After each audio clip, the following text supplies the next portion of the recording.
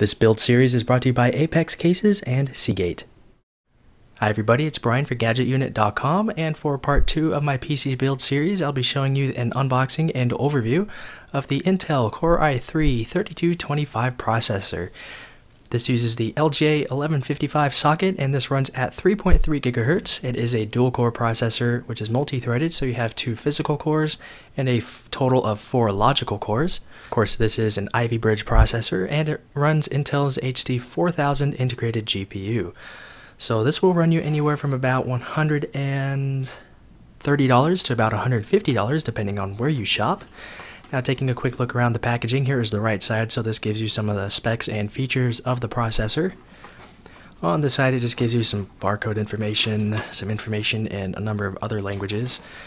And at the top we can see what the processor looks like.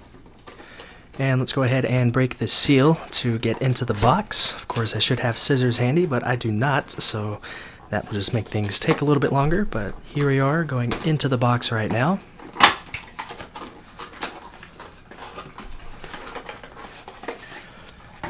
So inside of the box we do get a little user installation manual which also gives you information about the 3-year limited warranty and you also have an Intel Core i3 case badge that you could put somewhere on your case, your car, wherever you would like. I've never seen anybody put it on their car but who knows, there's always a first for everything. I will not be doing that by the way.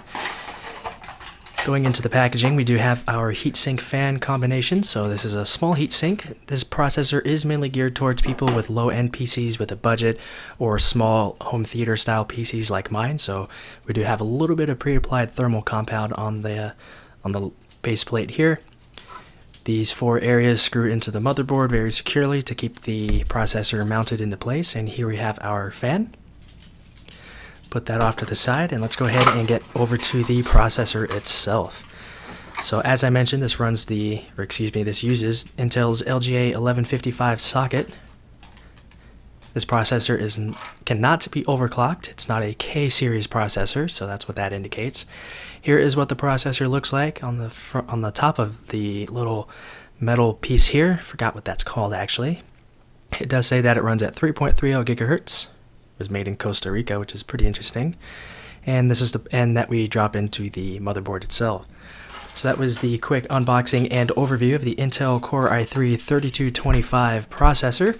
Can't wait to start getting this build put together, so I'm going to go ahead and end this one and move on to the next one. So that is it with this video. If you have any comments, questions, or feedback about this or anything else, feel free to leave those down below in the comments area. But that's it with this video, so thanks a lot for watching and stay tuned for the next video.